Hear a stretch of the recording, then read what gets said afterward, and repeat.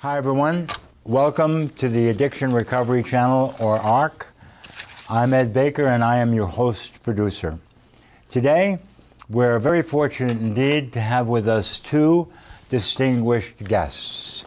We have with us Dr. Todd Mandell, who is uh, a board certified psychiatrist with a specialty in addiction psychiatry.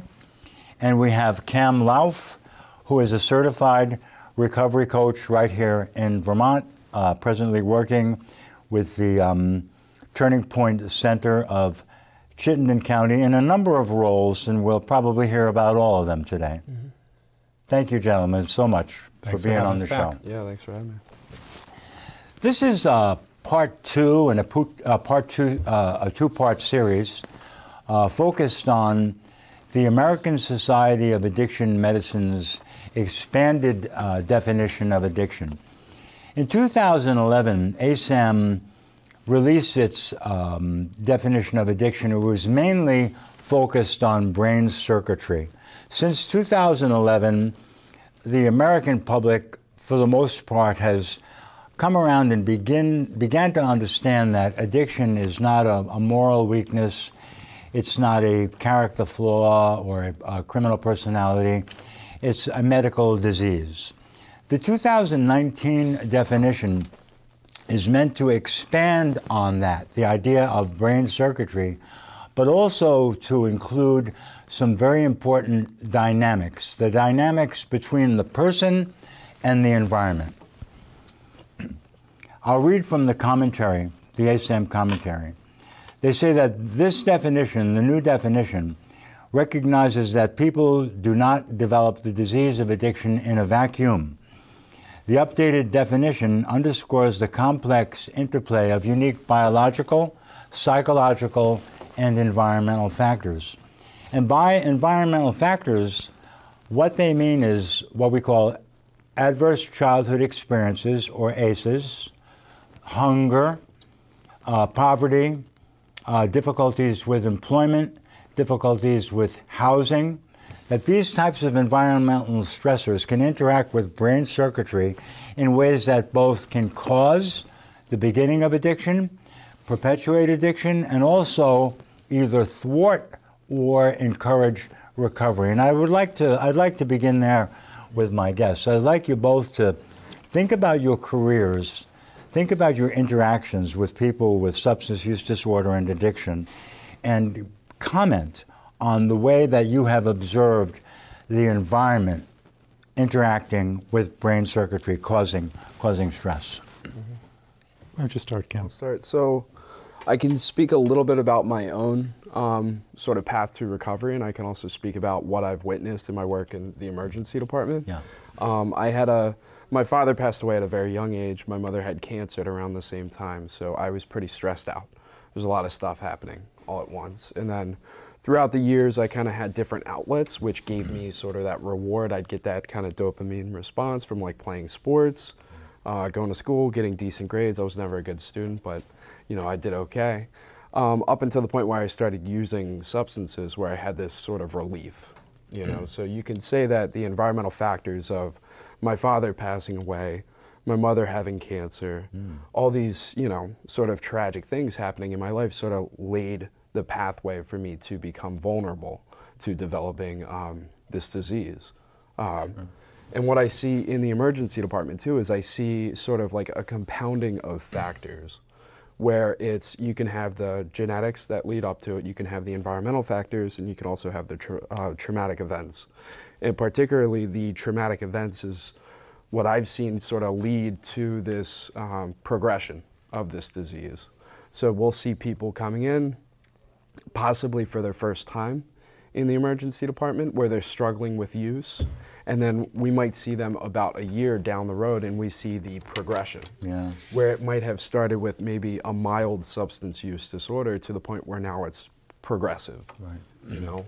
So their use is now problematic and they're using past those uh, consequences. Yeah. You have those negative consequences which are arising in their life. One of them could be entering the emergency department, and then they're still here, they're still sort of resurfacing. Well, you know, that's just let me take a second because that's a really interesting point.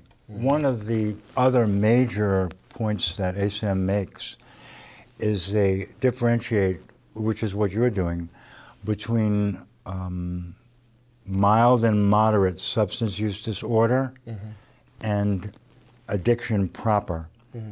They reserve the term addiction for severe substance use disorder, which means that the brain is compromised in ways that causes the person to continue in addictive behaviors in spite of consequences. Mm. And I think it's really interesting that you made that point because they make that same point. Mm. What, what about, uh, Todd, what about your career? What have you observed? Very similar to what Cam describes folks coming to treatment, bringing with them a variety of issues, depending on whether it's their first time around or having been in, mm, made attempts at treatment and recovery many times over the years. Um, the part of recovery that seems to be a challenge for many people is how do I learn to cope with all of the emotional and mm, environmental factors that are going on around me as I'm trying to get sober when I've used my less healthy outlets as a way of coping. Mm-hmm. And the issues are still there.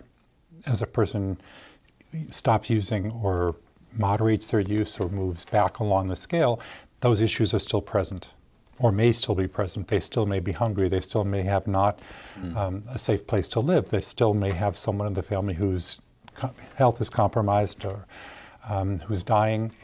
And coping with it without their outlet is very difficult. Yeah. So a person can become abstinent, but there's that's when some of the more difficult work begins. Would you agree with that? Mm-hmm.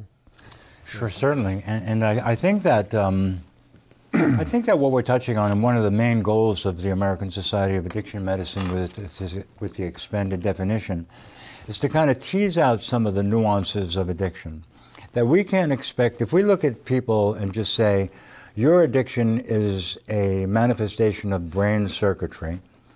We'll help you to change around brain circuitry, but then you'll be in the same environment that fed into causing your addiction. Maybe there'll be problems with poverty. Maybe there'll be problems with housing. Maybe there'll be problems with employment. Maybe there'll be unresolved trauma. How can we expect people to just stop using drugs and not have an environment that welcomes them and continue to be abstinent from drugs. So the idea then is that this new definition would begin to inform the public so we would enact legislation and programs that would begin to deal with adverse childhood experiences, lack of employment, lack of housing, things of that nature, and mental health.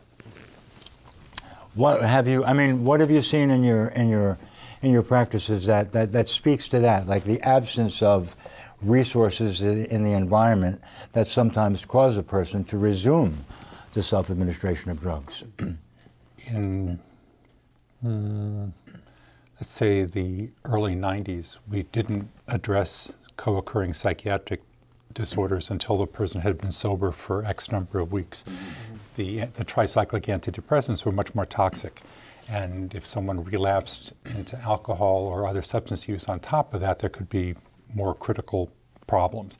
With the advent of the SSRIs and realizing that you can't do treatment sequentially, you have to do it in a coordinated manner. Even mm-hmm. parallel treatment doesn't work. Mm-hmm. So, how do you, you can't send a person's addiction to an addiction specialist and their uh, mental health issues to a mental health right. specialist. You have to deal with the, the whole person. Mm-hmm that's becoming more the norm. It used to be co-occurring, dual diagnosis, then it was co-occurring, and much more we're talking about a complex patient mm-hmm. who may have a variety of issues that need to be dealt with simultaneously. Yeah, yeah.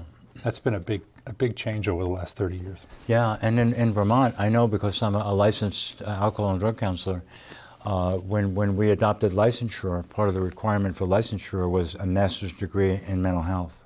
So, in order to get a licensure for dealing with people with alcohol or drug uh, issues, you had to also have a, a, master's degree in mental health, so that integration began to occur there. What about what about? Have you made those observations also? Yeah, I mean, um, particularly when you're looking at individuals, in, it's sort of like this process of, you know, here's your laid out path to what treatment might look like for you, but unfortunately, they have to return to that same environment. So, and it's also asking a lot for them to, okay, can you just up and leave everything to go to a residential care facility to get stabilized on medication, to engage in programming? And then, so do you have the finances in order mm-hmm. to give up 28 days of work or 14 days of work, however long the stay is? Do you have care in place for your children if you have children?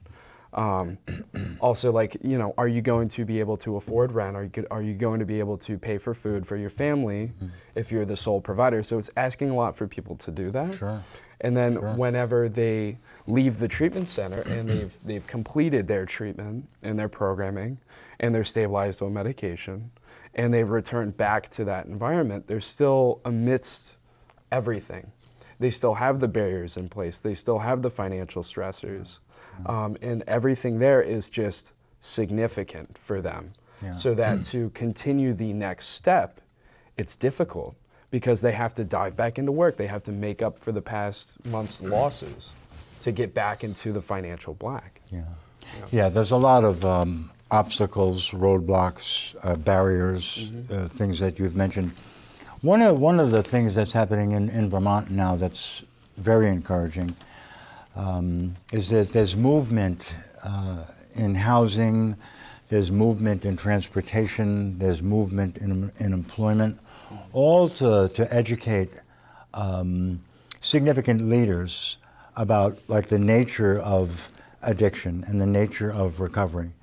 Um, recovery supportive workplaces is something that's being discussed and defined and different conferences are going to be looking at that.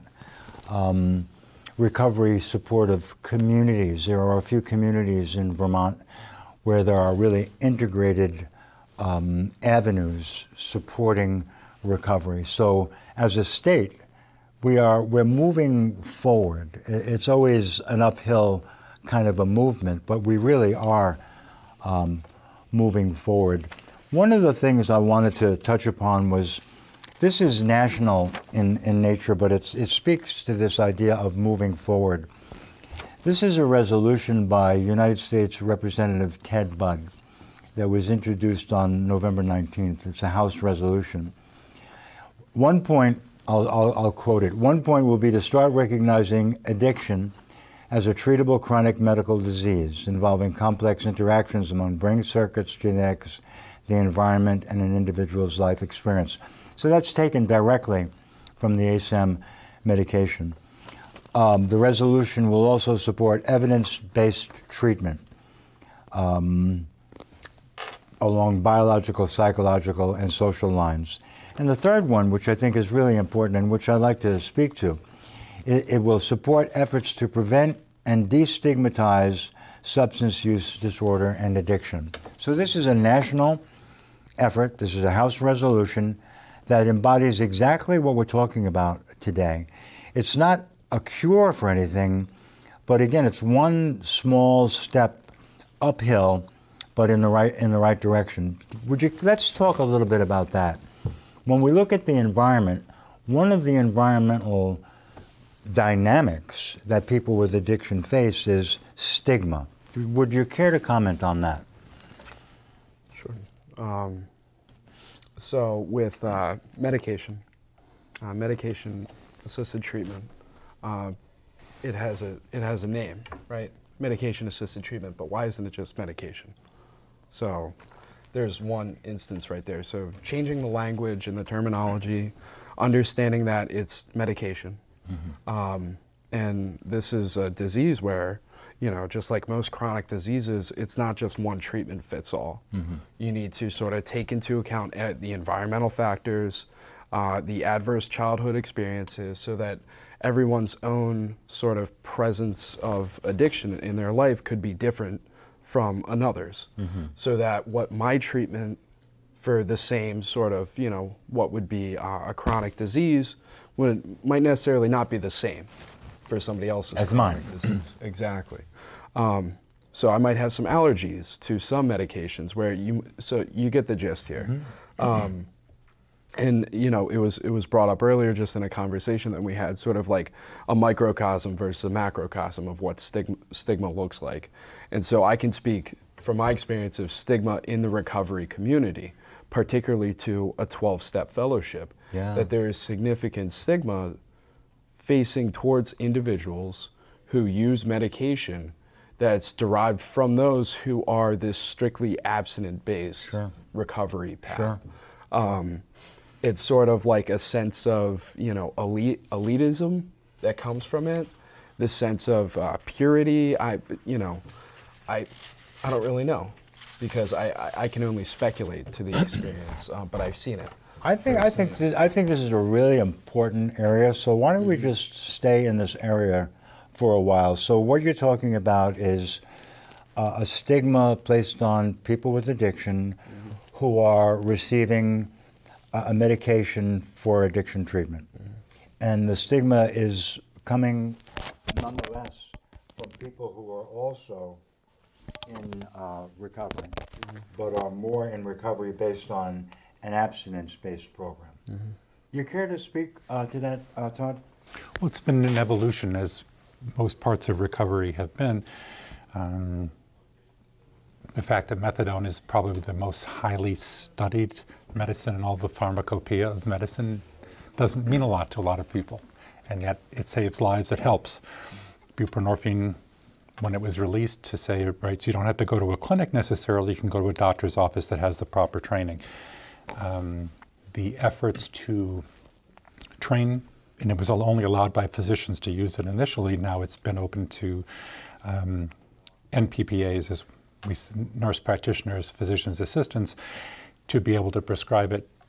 How to recruit folks to be able to use it mm-hmm. was um, a large effort, and Vermont did a really nice job in leading the country in, in training the number of providers that have the buprenorphine license.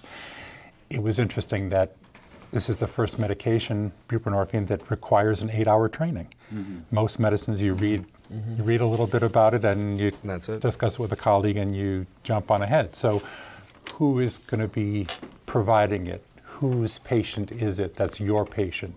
Todd, people would say, you have that patient, you do that for them. Well, how about the fact that they're, they have hypertension, they may have diabetes, they may have a, um, a mental health issue that needs to be on medication. How do we coordinate that, your patient? So now it's becoming more of an our patient.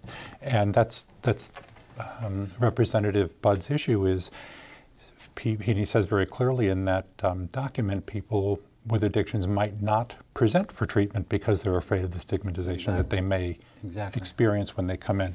So it's within and without of the recovering community, and it's a slow process. But uh, Representative Budd made a really nice start with that. Yeah.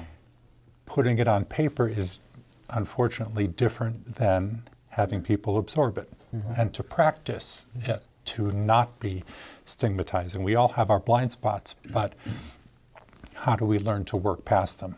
And how do we not exclude people from the treatment that they really need? Yeah, yeah. exactly. And, and, and, and, and, and, and, well said by, by you both. The, the fact of the matter is that stigma costs lives, and the general public needs to be gently educated about that. Stigma causes people with severe substance use disorder to be reluctant to reach out for help. When they don't reach out for help, the disease progresses. And in our society, with some of the drugs that are available on our streets today, that can uh, very often lead to, to death. I have a, a quote from this is the Betty Ford um, consensus panel on recovery. And one of their criteria for recovery is what they call sobriety. And I'll just read you the footnote because it bears directly on what we're saying. The Betty Ford Foundation says the consensus panel agreed that individuals engaged in medication assisted treatment who meet the other criteria for sobriety would meet consensus definition of sobriety. So what they're saying then is a person who's receiving buprenorphine or methadone will be considered in recovery if they're adhering to you know, the prescription and the way that their uh, medication is supposed to be taken. And this is, again, the beginning of like a, the expansion of consciousness to include people. Mm-hmm. To me, and I, I know a lot of people in recovery, to me, it's heartbreaking that someone with such a, a dangerous disease, uh, opioid addiction, would first have to battle the stigma of, you know, I'm not even going to say the word, but you are a so and so. You know, you choose this, you made your bed, sleep in it. That's the initial stigma that they face. Then, if they're lucky or fortunate enough or have the resources and they get into treatment and they're on buprenorphine or methadone, they're met with the feeling of you're still using. Your medication is opioid based, so you're still using. How, how are, are that's, we are the environment this is part of the environment that we create. What, what can people do? What can the general public do to change that environment around? How can we, how can we change that? I'd actually like to hear from you, Cam, about the role of the recovery coaches and how basically you're helping folks walk through that, shepherding them, helping them, assisting them through those issues. And I'd like to hear mm-hmm. more about, since mm-hmm. it's fairly new, mm-hmm. I'd like to hear more from you about how mm-hmm. you and the other folks that you work with actually manage that. Mm-hmm. Help folks manage it, I should say. Of course. Um, so really, it depends. I mean, I'm I'm glad you brought that up because I I don't necessarily agree mm. with that. Um, to set uh, parameters around somebody else's kind of experience, mm-hmm. you know, and, and what's true to them and what is subjective to them, mm-hmm. I feel like that does a disservice mm-hmm. to that person. And in sort of, you know, not in what we do as recovery coaches, we help align sort of parameters and expectations for individuals mm-hmm. and what is reasonable for them to accomplish. So, helping them sort of come up with motivation, helping really create a sense of autonomy through just dialog mm-hmm. and having an open um, dialogue session with them at various points of intervention. Um, we sort of create this sense of belief that, you know, I might not be able to do this right now, but I can do this. Mm-hmm. So it's kind of inching the person towards this larger goal of what might be their understanding mm-hmm. of sobriety. Mm-hmm. Because for me to say, well, you know what, according to Betty Ford, this is what sobriety is, and you're not living up to it, therefore you're not sober. You know, like it's kind of a weird Betty, sense. Betty, Betty Ford, the consensus panel on Betty Ford is mm-hmm. that you are considered sober even if you're on buprenorphine or mm-hmm. methadone. Mm-hmm. Whereas one of the general stigmas that, that we're seeing is that parts of the recovery community are saying you're not in recovery if you're on methadone or buprenorphine. Which I get, yeah. 100%, yeah. and I agree, yeah. but there's another level mm-hmm. to it. Mm-hmm. So outside of medication, there's also use of other substances. Right. Oh, I Although see. not see. the same substance that's causing the sincere problems sure. in the person's life. So if somebody who is uh, IV use heroin every single day mm-hmm. and they're able to get to a place where they're not, mm-hmm. but they're smoking weed mm-hmm. or they're using benzodiazepines mm-hmm. or they're you know using crack okay. cocaine, it's okay. not as problematic as it was in the past. So from their understanding, they are in a better place. Oh yeah, for sure. So that is, you know, it's it's working. It's a sort of a harm reduction approach. Oh, for sure. Applied Absolutely. to getting to a person to a place where they feel comfortable enough mm-hmm. to kind of see like recovery. This is my lifestyle that I'm living now. It's a tall order to have sort of this expectation of, you know, uh, committing to a sense of sobriety for the person Mm-hmm. I got it. I see when they're not in the saying. place. I see what you're saying. Yeah, that's it. And you know, it gets it gets really complicated. But but I, I'm with you. Uh, you know, Betty Ford is one resource, and I think they've made progress in kind of stating that people on opioid-based med- based medications can be in recovery. If you look at William White and, and some of his writings, he kind of addresses part of what you're saying. It's kind of a harm reduction idea. He will uh, differentiate three stages of recovery. Mm-hmm. One, one is partial, which is what you're referring to. Mm-hmm. People are still, you know, dealing with maybe harm reduction or the recurrence of use. They're kind of still struggling. Mm-hmm. The next phase is full, where people are abstinent, you know, from all dangerous psychoactive chemicals, and they're leading rewarding lives, uh, improving their health, improving their um, participation in the community. And then the third really is, is beautiful. It's enriched, where the person's experience achieving recovery has shaped them in ways that enable them to give back to the community of people who are using substances and, and, and, and, and fighting for recovery and helping them to move forward.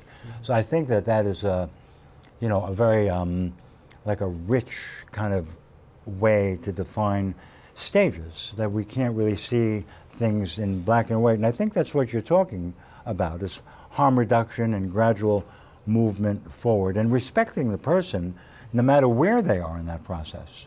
Is that, is that kind of what you're saying? Yeah, hundred percent. Um, you know, I don't like to give it labels because it would be subjective to each person, but I, I, I wholly agree, and I think, you know, and, and, and I understand like along the process, you know, I can't say, and this is kind of like a recovery coach sort of quip here, like I can't say I'm the expert on somebody else's own reality, like they're the expert Right. on their reality. So when we work with people, whether it's um, in an inpatient setting, if they're admitted to the hospital, or if it's in a recovery setting, and if they're in very throughout the various stages, um, whether in their sort of that partial, um, you know, all the way up to enriched, as you stated earlier, like it's really a similar process Yeah. where you have sort of you know this understanding that they're where they're at right now, and we have to meet them exactly where they're at, and provide them with the support so that they can continue. Well, I mean, that really answers my initial question about what, what can we do to reduce stigma and help people to move forward in recovery. If we can spread that kind of attitude a little more to the general public by educating them, then that's, that's really what we need to do over time. Yeah. Todd? Well, educating the public, but also providing the support and education within the community of folks who are working on recovery so that they mm-hmm. don't fall victim to this stigma. And whether it's that I'm on methadone and I'm not being accepted by NA, or I'm on, I use alcohol and I am on antidepressants, which didn't used to be allowed mm-hmm. in, in or wasn't as, as rather than saying that, wasn't as accepted or by all meetings. So, how do we negotiate that? Mm-hmm. And how do we help care providers negotiate that, have a better understanding about what it's like to face, to be afraid to, to ask for help, what it's like when um, you're judged in an emergency room. How do we help someone manage that and avoid term, use and semantics? The tiniest things can make a difference. And saying that someone has an addiction difficulty as opposed to being an addict opens up a door in a different way. How do we use the, the better vocabulary, the more accepting words, um, more support? How can I help you today as opposed to you're drug seeking? All of those, they're significant, but they, they're also very small Yeah. changes that one has to make in order to be have a welcoming environment. Yeah, yeah. You know, so that there's that, and also, you know, what I think about frequently is is the way the care uh, provider or the recovery coach or the therapist or the neighbor like feels inside about the person with addiction that that somehow that that gets communicated, and um, you know that we all need to educate ourselves more about what addiction is and what people with addiction go through, so we can really like feel compassion. And I, and I know that both of you are still in, in practice. You're still working with individuals. I no longer am in clinical practice, but maybe we can talk a little bit about that, like the, the sensitivity that you experience toward people and the sensitivity that they bring into the office. In my experience, people with addiction by far are, are like overly sensitive to stigma. They will, they will have feelers out. Mm-hmm. And if they feel it emanating from someone, that will push them away. And it, it seems to be an obligation, really, uh, for, the, for the service professionals, really, to, to deal with whatever they have to do, whatever education or therapy or consulting or supervision or whatever they have to do, to get down in there and make sure that they have the, the right kind of attitude toward the people that they're, they're working with. Do you want to comment on that? I was actually hoping that you could walk us through a little scenario of someone that you're coaching who mm-hmm. is experiencing mm. stigma mm-hmm. from whatever um, vantage point, from their family, from mm-hmm. a provider, from whoever, and how you might help them deal with it. How would you? How might you approach someone who said, "This has happened to me," or "I'm not feeling welcome at this meeting because I'm on methadone"? How might you help them manage it because it's a it's a relapse trigger. Mm-hmm. Yeah, completely. Um, so what I what I can speak about has that has occurred pretty much um, sequentially over the course of a year and a half that I've been working um, in the emergency department is individuals uh, re-engaging with treatment through the emergency department, and it has been pretty rapid. So it's about three, four, five, six times a month that it's occurring, mm. and every single time they, they're a bit less willing to engage as a result of encountering stigma through staff. So, um, you know, it's, it's kind of that look, it's that tone, it's sort of that sense. They're, they're very sensitive to that sense of, well, they don't want me here, you know. Clearly, I'm not going to get the best treatment. And then it turns into just, you know, uh, cognitive distortion, and then it turns into a belief, and it's just then it's a core belief that the mm-hmm. person, and then they're unwilling. A core belief about self. A core belief about self. Right. Yeah. Right. And then they're unwilling to seek out treatment as a result. So, and that's when we lose people. That's when we lose lives. Um, what we do, in a sense, is we really provide that compassion and support for people, so that where they are seeking it out in different venues, and they're not having it reciprocated to the sense where they need that, we'll then provide it. and also, what we'll do is we'll sort of um, we'll de- we'll debrief in a sense. You know, they go to this, they go to a meeting, or they engage in treatment, and then we'll debrief afterwards. Okay, so what did you hear? Did you hear anything? Did, did you did you take anything personal? So, in a sense of like what came up that you felt was sort of targeted against you. That's that's I you know? know that. That's and then talk through it because it could just be misunderstandings. It could mm-hmm. be you take something and you misconstrue it in your mo- own mind. Um, when I first got sober, I felt everybody was staring at me. I felt everybody was talking about how I wasn't speaking right? And I'm from Baltimore, and we have a really weird accent. so, and up here, it's a very thick, drawn out, yeah, bud, how's it? You know, it's very Vermont. And so there's this sort of, um, you know, you're in a spotlight, and you feel like you're in a spotlight. Even when engaging in treatment, when you first go to the emergency department, you go, you know, there's that sense of, well, I'm not here for a medical reason, you know. Well, this also, kind of, you know, the, yeah. The, there's the overlap between adverse childhood experiences and addiction, mm-hmm. and children with adverse childhood experiences by and by having what's called um, early stress response or early fear response.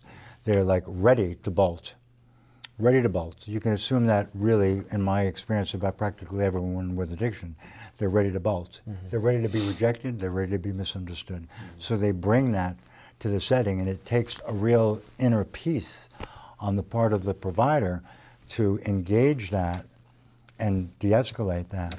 And you're right. And a look, um, body language. It could be, uh, you know, a professional that's just busy, that really doesn't contain any stigma, but they're busy and it appears that they don't care.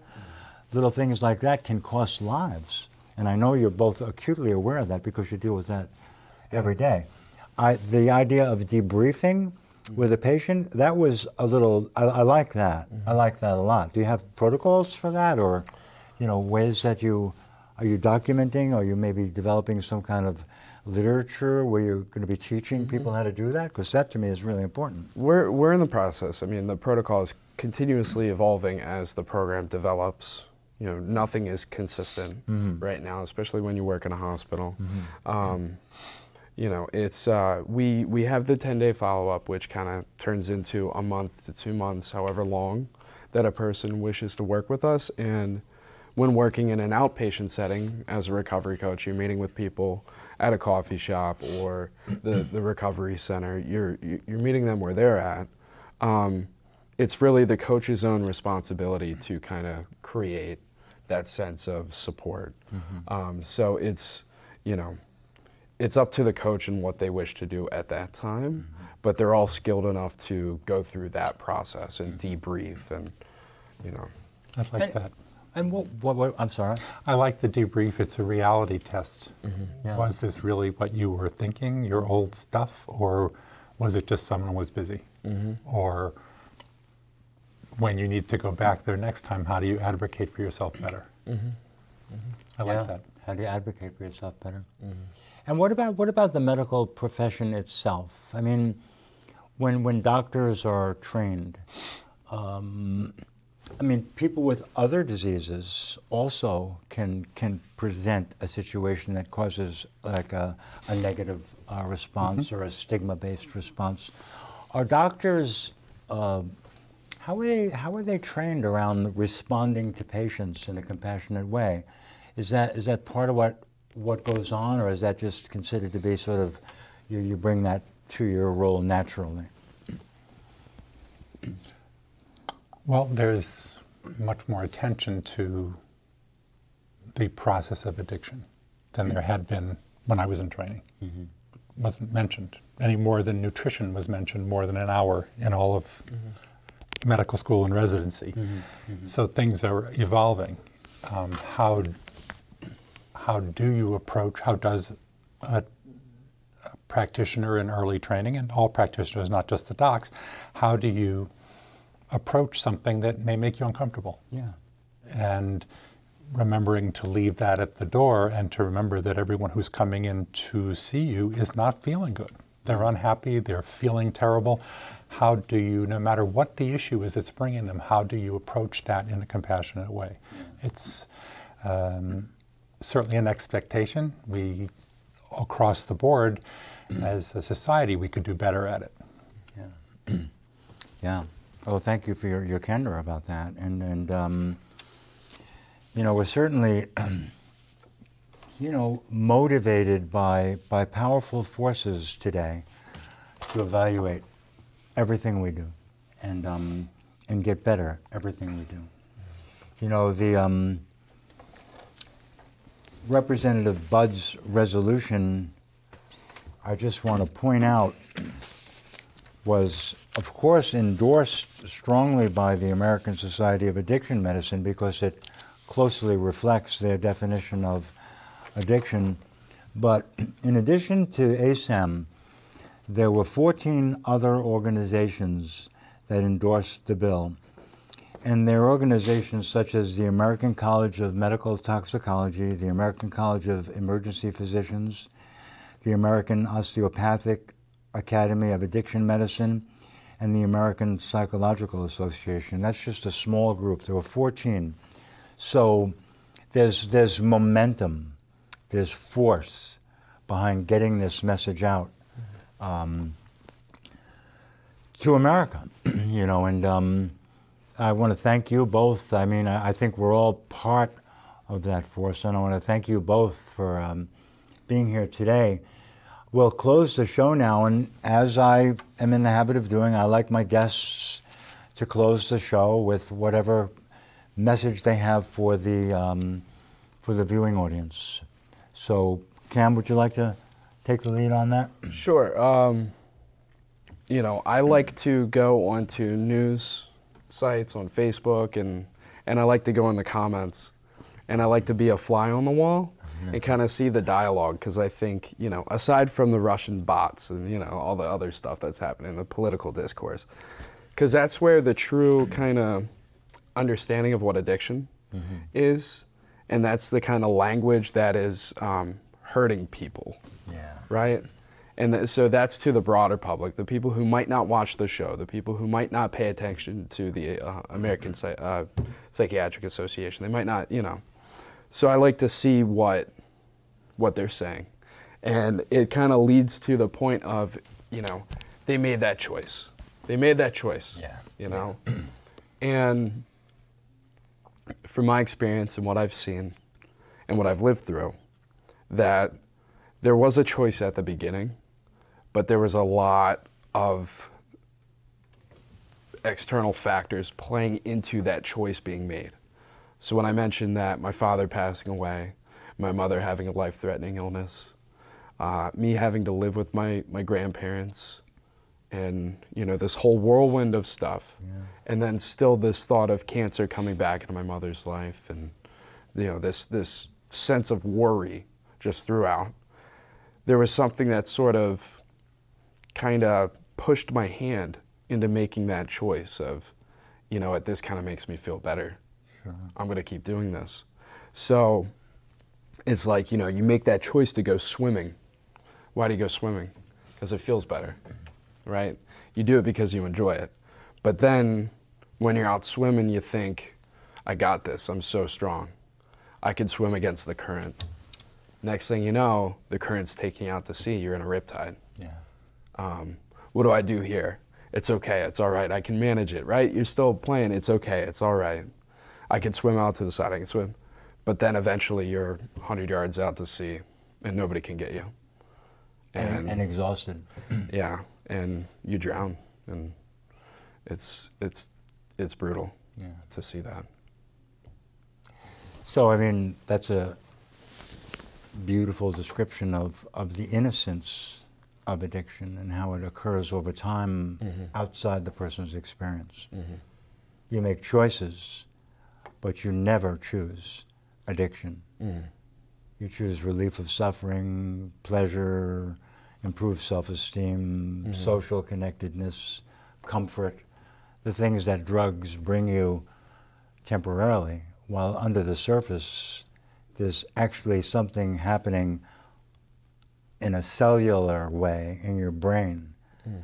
And before you know it, you need a drug mm-hmm. just to feel normal. Mm-hmm. And you're willing to do anything to get the drug. Mm-hmm. And you have addiction. Yep. Yeah, this is something that we need to keep talking about so people can really understand it. That was a beautiful rendition of it. Yeah, I want to see those Facebook comments kind of change. But but do you get Look do you, a little different. Do you get into it? five Do you get into like No, no, sir. Because it can take all day. Sometimes I will get sucked I- into it. uh, yeah, I'd like to have peace of mind at the end of the day. so. yeah. Thank you for that, Todd. Right. Thank you for that. Um, very interesting swimming metaphor. I liked it very much. May I use it? small strokes, small steps, small changes in language, changes in legislation, more support, more recognition that this is a problem. We have a long way to go, but we're making progress and we just have to stick with it. Thank you, Tom. Thanks for having me back. So thank you for uh, joining us again for part two, and um, we'll look forward to seeing you uh, next time on the Addiction Recovery Channel. Thanks, Todd. Cam, thank you. Thanks. Thanks, man.